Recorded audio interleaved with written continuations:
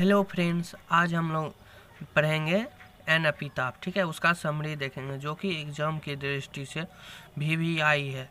ये 2021 में भी पूछा गया है, ठीक है? जो हर बार 80 परसेंट चांस रहता है, पूछा ही जाता है, ठीक है?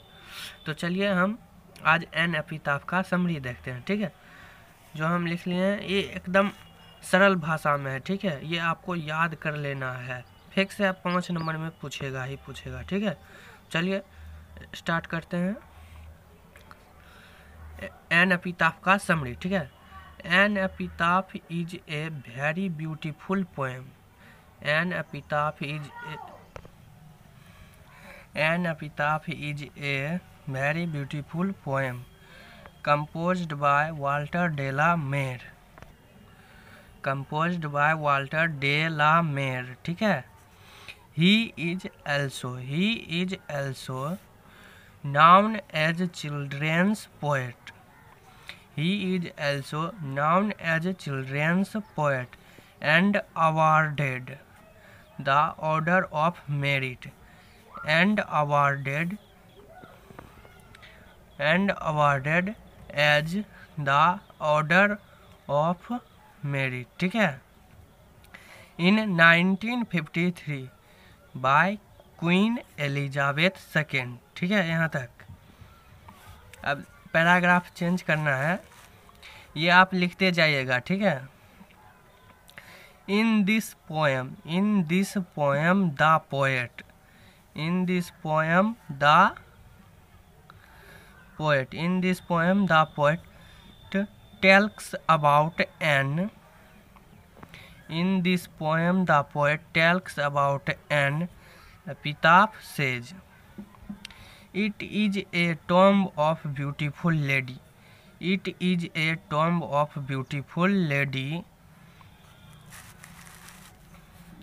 She was the most beautiful lady.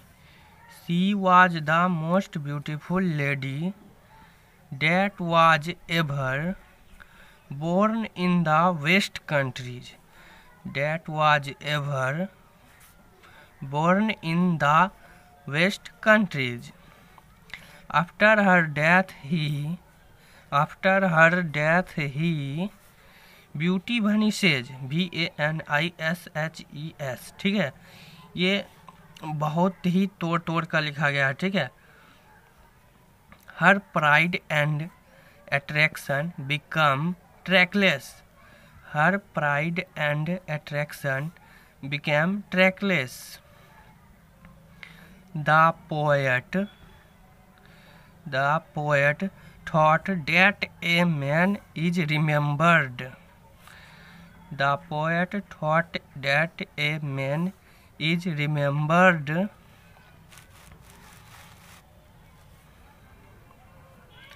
when he is a when he is alive alive है, ठीक है? When he is alive but a man is dead nobody but a man is dead nobody ठीक है?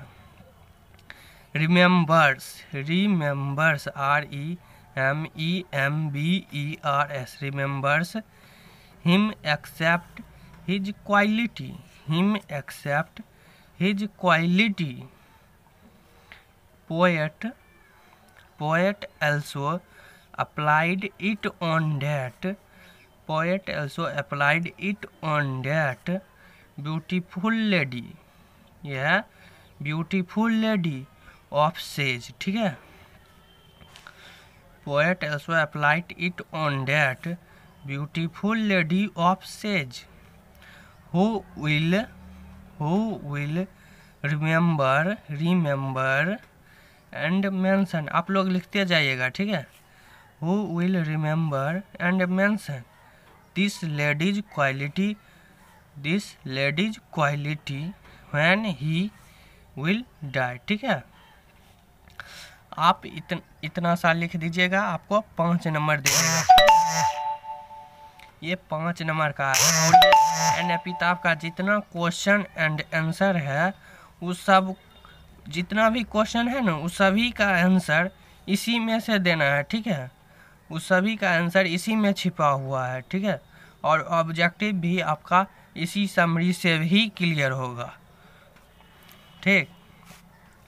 अगर आपको यह video पसंद आया है तो लाइक शेयर एंड कमेंट करना ना भूलें।